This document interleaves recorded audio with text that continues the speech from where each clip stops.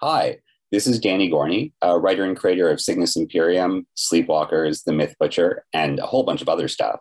Uh, you can find me on Twitter at DJ Crash Override. Uh, and hopefully support my Kickstarter for Cygnus Imperium issue two, which will be live in early June. And you're watching Two Geeks Talking.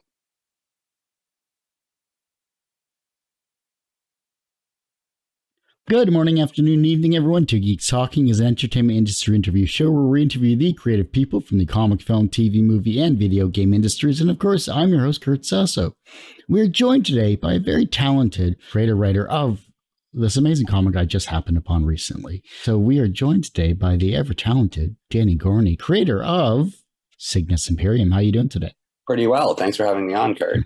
For those that don't know anything about yourself as a creative person, and of course what you're bringing to Two Geeks Talking today, tell us who you are and what you're all about. Sure thing. So I am Danny. I am all about storytelling and the ways storytelling impacts identity. I finished my PhD in literature in medieval lit in 2013. Turns out the financial collapse was a hot mess. So uh, I've been working as a freelance writer in Toronto ever since in 2016, I realized I need more narrative in my life as compared to business writing that was paying me things.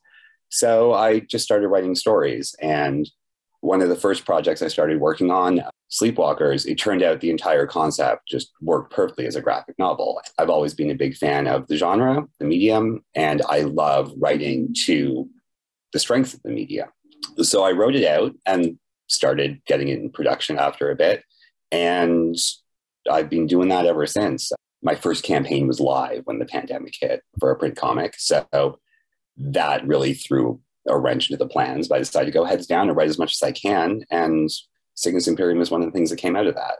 I have to say, I, I love the writing. I love the con- I love the character interactions, and I definitely love the colors of of this book because, from what I got to read, you throw everything at the wall. I mean, like you, there's action galore, which I love, and the dialogue actually is what really intrigued me because at least you're seeing the different voices and the different um, character developments throughout uh, at least the first book that I got to read. The themes of Cygnus Imperium, what kind of sparked the beginning of the comic itself? So, Cygnus Imperium, I'm totally giving a shout out here. I did this interview for this like James Bondy cryptid anthology I kickstarted in the beginning of 2021 with two geek girls. This podcast out of uh, Arizona.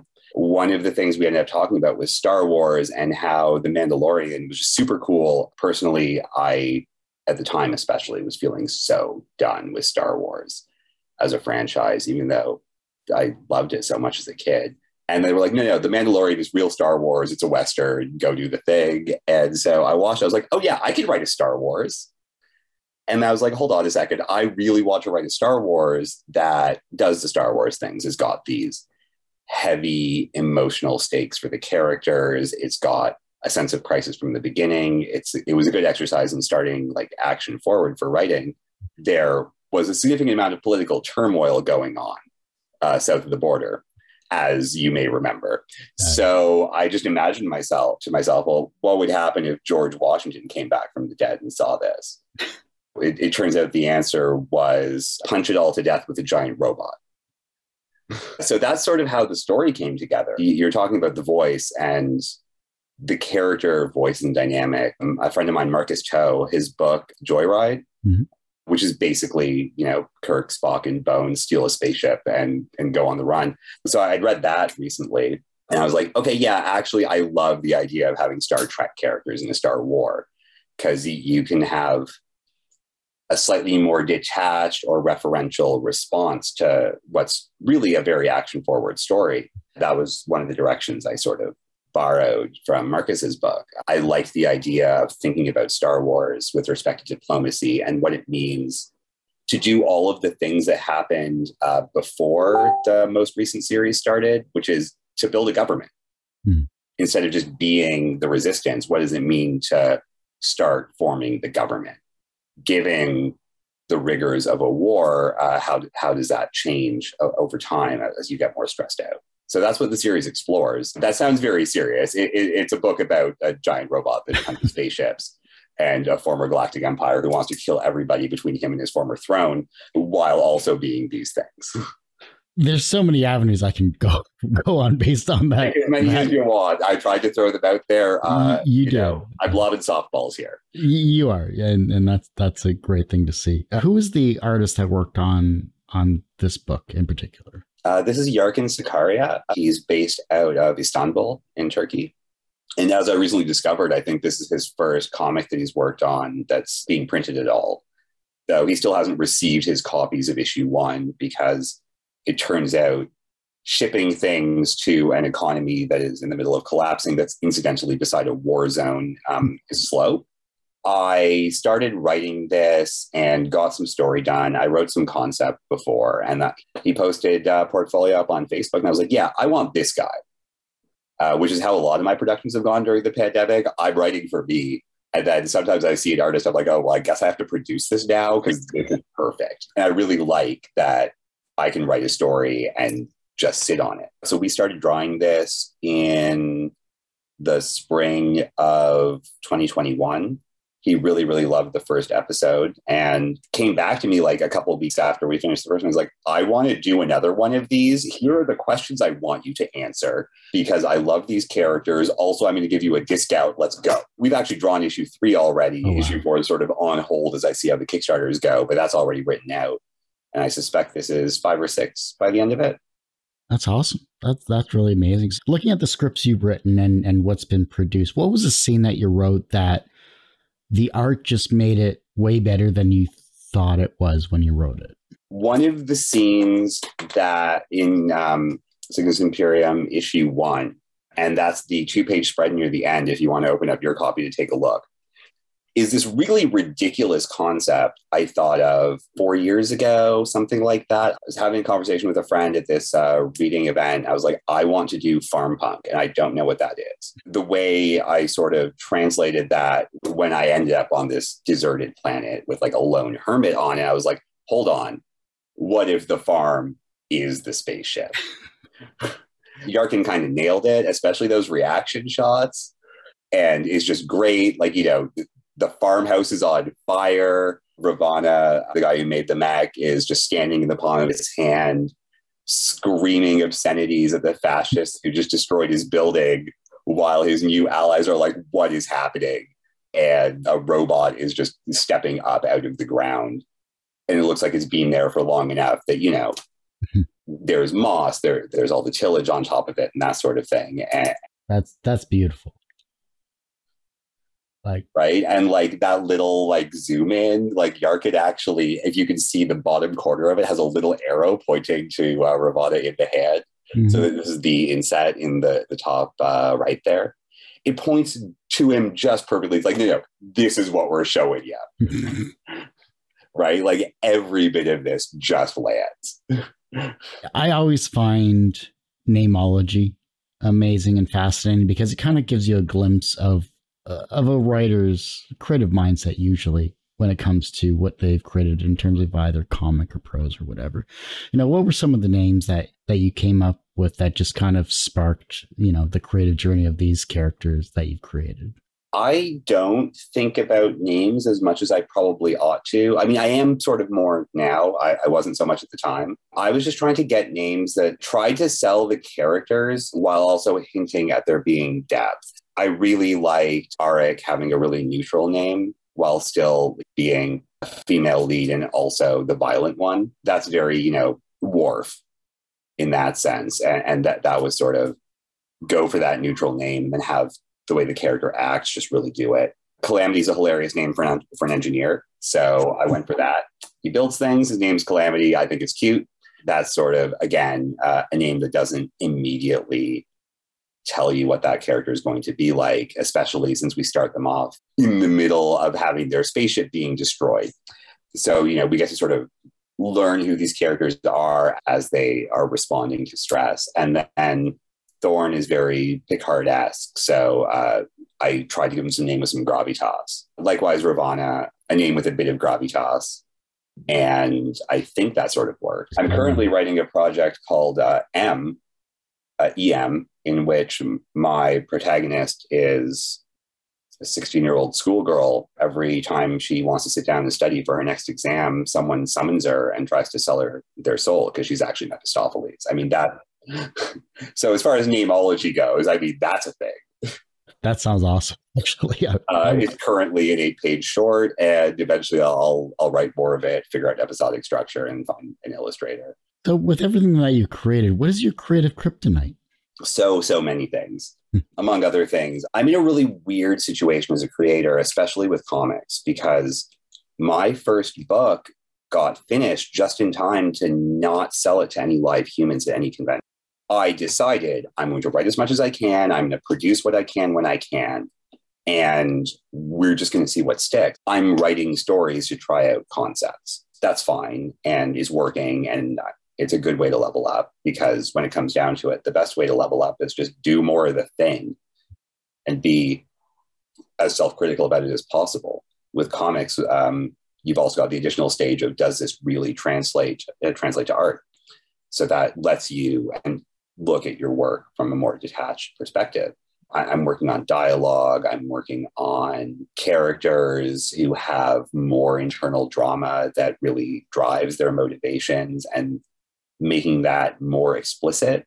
I'm working on all of these kinds of things in very different ways. So, but each project, I've usually got like one thing I'm trying to test. Cygnus Imperium is like, I need to run action forward. I need to run emotions heavy.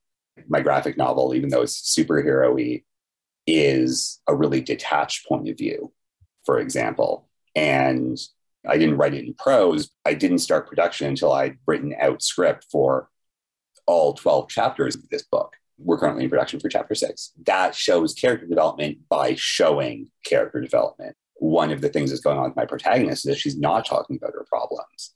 That's a bit more like me. At the same time, I want people to start talking about the problems. I'm, I'm working on M partially because a high school concept forces you to write characters who talk about and engage with their problems at the level of really small stakes as a writer that you are, do you find that, especially with this pandemic currently going on, that writing energizes you or does it drain you? I feel like it's energized me. It helps a lot that I work better in groups uh, for a lot of things. So I'm going to write something and like put in a trunk and just like, maybe I'll find the right illustrator at some point. Sometimes it's just an exercise. Fundamentally, the second step gets into production, I get really excited. I need to hire more people. You know, I've got to figure out how we're going to sell this thing. That's really given me a great sort of sense of personal control. And I'm highly motivated to do this. The pandemic, I think, was a good opportunity for a lot of people to stop and reconsider and determine a new direction for themselves. It wasn't so much for me, but I certainly like doubled down with stuff I was already doing it's very weird to imagine that like before the pandemic started, I, I would have been, you know, someone with nothing done. And then, you know, right as the pandemic started, I was someone with one book done. And now that things are actually opening up, like I did my first convention a couple of weeks ago in Chatham, Ontario, of all places. I was someone with eight books done. And I'm a nobody, right? It's really nice to be doing that and to think like, okay, actually I've, I've produced a lot. I am getting out and sort of selling myself as this full on creative for the first time. And that makes me want to do more. And then, of course, generally, or at least the way I write, I keep writing until I stop sucking at it. There's a lot of small ideas that get thrown out or that I, I pick up from watching other or, or, reading other things. And they eventually find their way into stuff um, when they've had a bit of time to percolate. So the more it you do, the, the more momentum it has really as a practice. I mean, you're constantly improving, is what basically what I'm, what I'm hearing. I'm trying to. I mean, if I'm not trying something new, like why?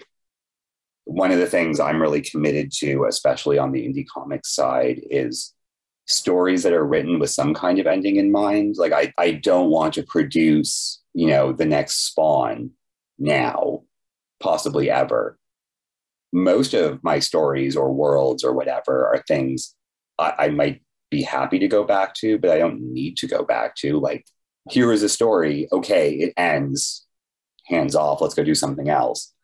Because as an indie creator, like you, you're really reliant on who's following you and to what end. Having them know that there's a story that will end and that if they're not sort of marrying themselves to you for this entire infinitely long series that might have an infinite number of production delays and blah blah blah blah blah like i like producing products that actually happen and i, I aim to impress people who give me their money i haven't met very many of them in real life because you know pandemic but I keep getting more followers. All of my crowdfunding campaigns have been pretty successful. So uh, I feel like that's probably working.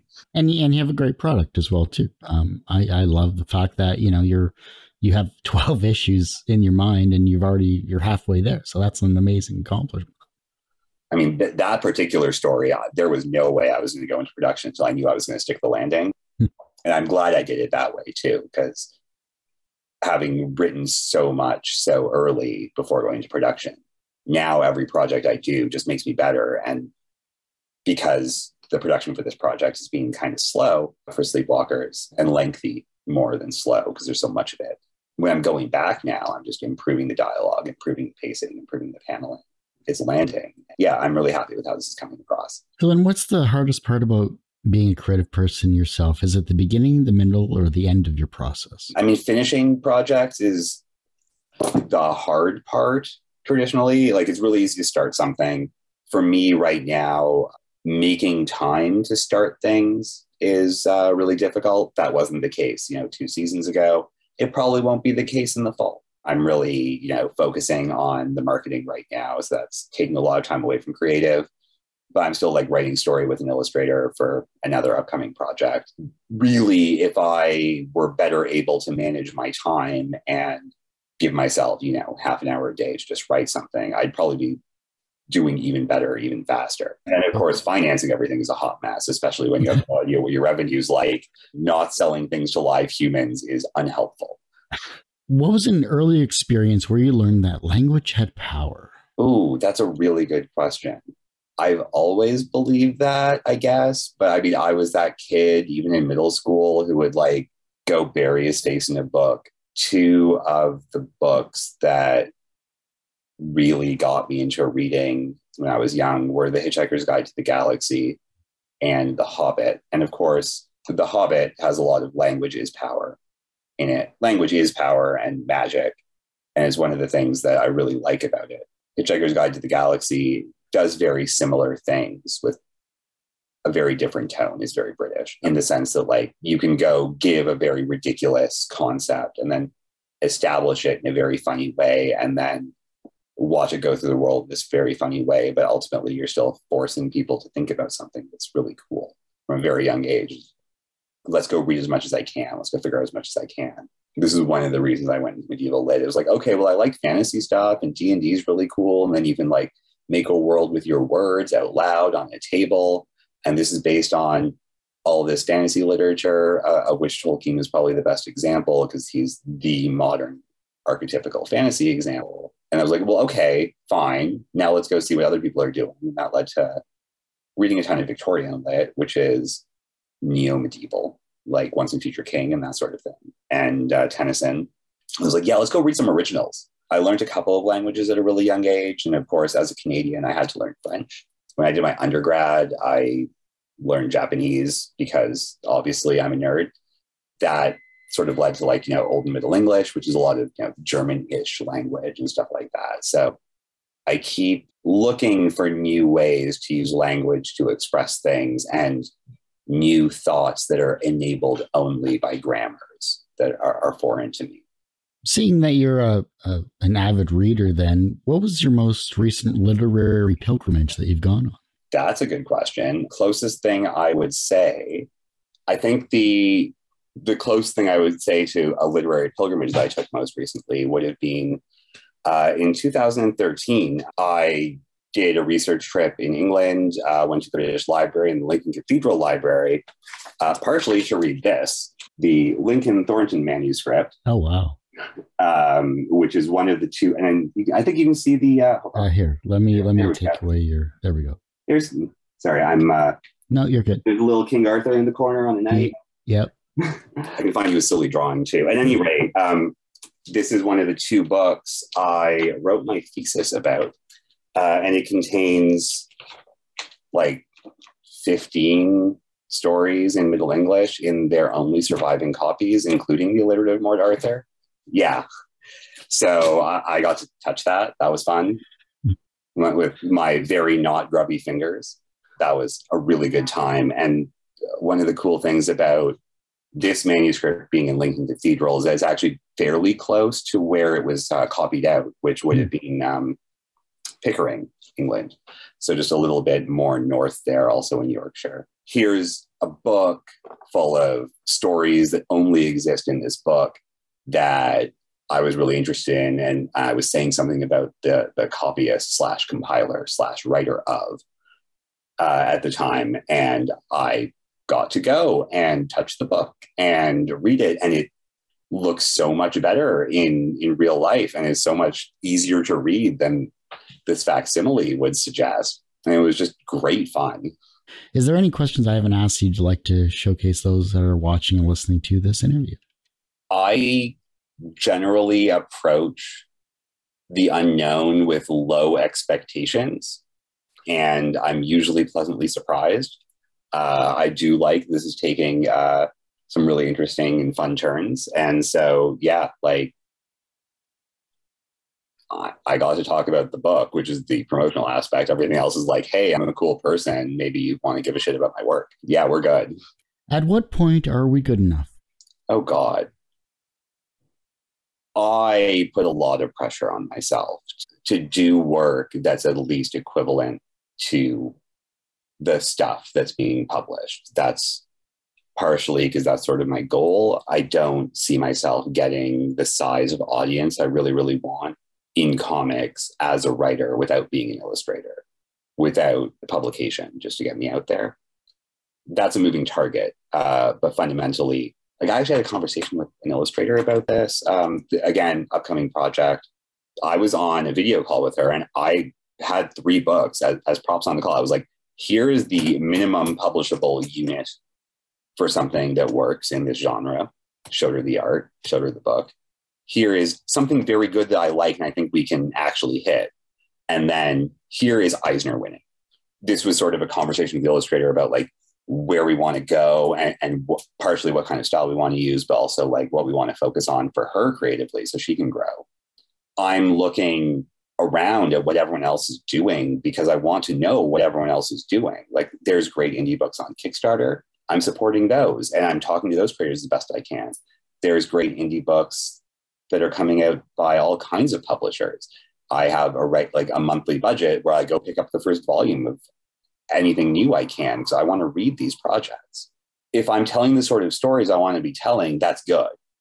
And then if, if I look forward and see like where I want to fit into a media landscape, I mean, I'm in Toronto. So ultimately the goal of doing stuff like conventions and, and things like that is to build an audience, to to get people to to care about me as a creator, to follow my stories, hopefully to be engaged by those, or at least to be interested by where I get weird, which is, I think, a fine place to be as a creative. Mm-hmm. You know, there's also a perfectly good film and television industry here too. So, good enough is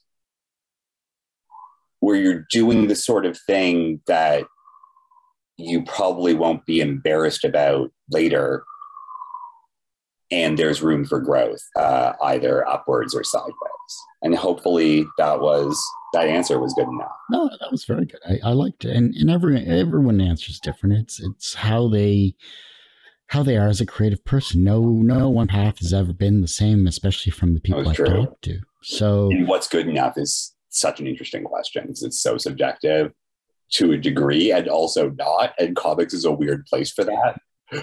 You don't actually need a publisher to succeed in comics anymore, but you used to, and it's one of the few places where doing your own indie project is just as good because if you're trying to network, doneness is really important. Also, I mean, the fact that there's so many different genres and the fact that comics are a great medium for that. I think it's the most flexible medium when it comes to showcasing not only a writing talent, but an, an, artistic talent as well, too, more so even than a, a film or a TV series for the most part um, whenever I try and explain the thing about comics to film people. You know, you can talk about the medium and how it's static and how you really have to do art direction and drawing and uh, storyboarding really differently because you're stuck with static imagery. Mhm. But also, like, time to production is really low. It costs the same amount of money to do a space battle on a comic as it does to two people talking in a room. That is not true in film Yeah. that's one of the things you can take advantage of is because you can produce whatever you want why the hell aren't you What is the second wisest piece of advice that you've, you've received uh, that has stuck with you in your career? oh boy. I mean certainly some version of done is better than perfect is up there. I don't even know what the wisest what the wisest piece of advice would be. Maybe that would be it.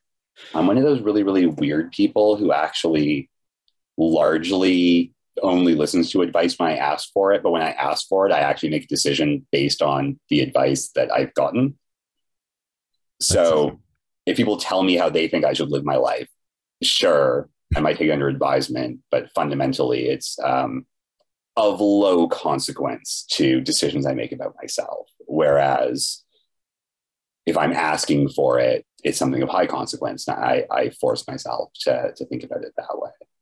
I, I just had a friend the, uh, a couple of weeks ago, uh, a new friend. I, I asked a bunch of people for advice, including this person. And then when I told her I followed her advice, she was like, What, you were actually asking for advice and not just like to bitch about things? I was like, Yeah, do people not do that? Apparently, people don't do that. I don't understand how that's a thing that people ask for advice mostly to talk about themselves. Uh, maybe I'm too straightforward with this. I'm convinced I'm normal, and I keep suspecting that I'm not. And it's deeply troubling. And also, I can't do anything about it. So I just get on with my life and keep doing what I'm doing until there's evidence for me to not be doing that as a good idea. That was a terrible sentence. you can still print it. How do you think the birth of creativity was formed? Theft, borrowing, restriction. There's a lot of creativity that happens of people just trying to copy other people's stuff. And, and some of that ends up in really cool places. And some of that's actually fairly successful. And it's really easy to market. So it's got a lot going for it. Copying as compared to theft, you know, very much like I described Cygnus Imperium. Like I basically want to do Star Trek characters in a Star War. So let's have these fundamental setup pieces and then have them play in their playground, see how they do. So that tends to go in a different direction faster for me. I mean, if I ask you to write me a story, that doesn't give you very much to go on. But as you write me a story for tomorrow, I mean, you might write a journal entry. If I, if I ask you to, to write me a story about a family of rats that gain sentience and decide to take over the house they live in, and you have six pages to do it, I mean, you're thinking, right? I can see, the, I, can, I can see the look on your face. Like, okay, what are you like? You know, oh, hold on, yeah, I can do that, right?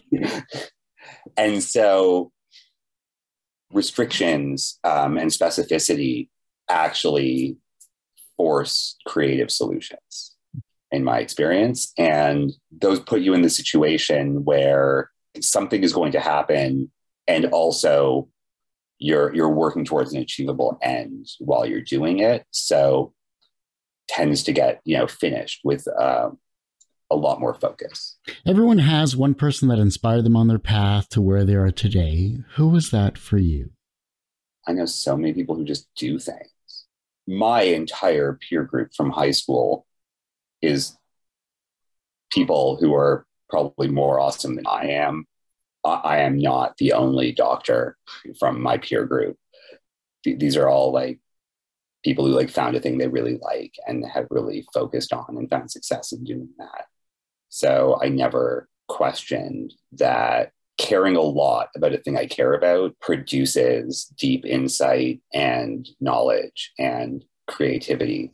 As long as I, I'm doing something I care about and I dive in and try to learn as much as I can, I feel like I'm going to be successful at something because knowledge in this respect is power. I don't really keep in touch with all of these people as much as I'd like to, but some of them I do. And they're all really great and inspirational in, in their own ways. So I just sort of grew up uh, socially in this environment where me doing the thing, the sort of thing I'm doing now was just socially encouraged. I, I now begin to suspect that I'm much less normal than I think I am. I mean, what is normal? But that's a question for another time. I feel like I'm one of the normalest people I know, but that might be a suggestion that I've got a problem. If you enjoy your life, that's all that really matters. What is, yeah, nor- normal is overrated. From a professional standpoint, you've created multiple comics and you have written many more to come in the future, which means that I have to have you back on the show to talk more about what you are going to be creating in the future as well too. So professionally, you are successful in that regard. Do you consider yourself personally successful? I don't think so yet. I'm doing the thing. Uh, I'm happy doing the thing. Doing the thing is an important step to feel personally successful. Doing the thing isn't the same as you know seeing evidence of the success of that thing. I have been fortunate enough to be able to try to do the thing uh, and and see where it goes. So that's a question. Uh, as we were talking about conventions and live humans and things like that, um, I'm hoping to find better answers to socially, uh, which is weird. I know. I can be happy enough doing the thing. I don't know if that makes me feel personally or professionally successful, but it was one of those for sure. The reverse of success is failure. How do you deal with your failures? I love failing. Hmm. I, I expect to fail. Um, I expect to fail constantly, whether it's writing or anything else. I mean, if you don't fail, you don't learn. And you're going to fail in new and interesting ways every time you do something. If you do something once and it succeeds and you don't think of anything you can learn about and try the exact same thing again and it doesn't succeed, you need to be introspective and examine why. And you learn by developing a policy or a process or a gut feeling that something's going to go wrong so you don't fail in the future.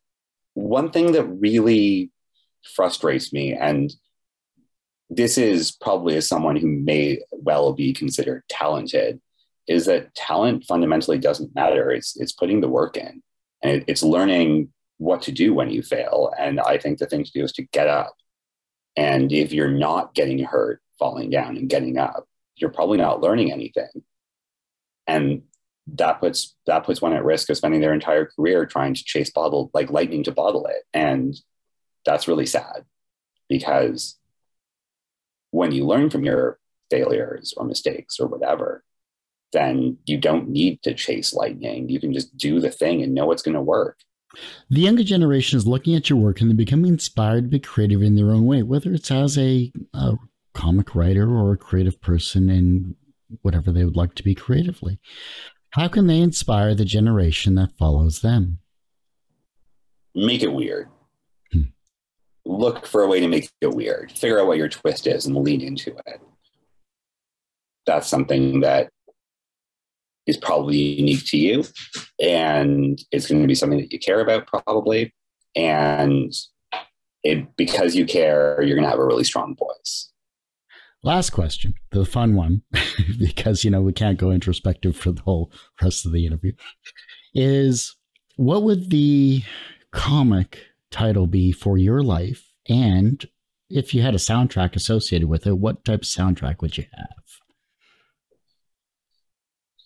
Oh my. There's a few answers I can think of for this, for the comic title for my life. Certainly, Unpredictable Consequences is an okay one. I have tried to start bits of career in various ways at the beginning of a surprisingly large number of once in a lifetime uh, economic collapses, and it's getting quite frustrating. As for soundtrack, I know something by like you know early to middling Nine Inch Nails, like or Underworld, or some kind of trip hoppy, mm-hmm. Sort of urban driving beat, slightly angry, angry in the way where you're hopeful for the future which is the best kind of anger. I need to be angrier at more things. Well, Danny, I do hate to say this, but that ends this particular episode of Two Geeks Talking. I want to thank you so much for coming on the show. Thanks so much for having me, Kurt. I had a really great time, and I look forward to telling you all about the ridiculous bullshit I make up in the future. Thanks a lot for having me, Kurt. Uh, I really look forward to seeing you again and telling you about the exciting projects I end up working on in the future. Now you have both. Before I let you go, uh, where can you, where can we find you online, and how can we support you uh, in your future projects, with whatever they may be? I don't post on social media very often, but I'm on Twitter at DJ Crash Override. My next uh, release will be Cygnus Imperium issue two, so that's going to be early June. There is a link on the screen, so uh, I'm sure that'll end up in uh, the doobly doo or wherever. Those are great places to find me. I my Twitter has a link to my mailing list as well, where I give people free stuff and don't bother them very much. Well, thank you again for coming on the show. Greatly appreciate it. Of course, you can find this interview and a thousand plus others on our website, tgtmedia.com or twogeekstalking.com. And of course, on our YouTube channel, which is a lot more updated than our main website because, you know, I'm only one person. I can only do so much. And that is youtube.com forward slash TGT media. And as I say every week, everyone has a story to tell. It's up to me to help bring that out. Thanks for listening watching on Two Geeks Talking.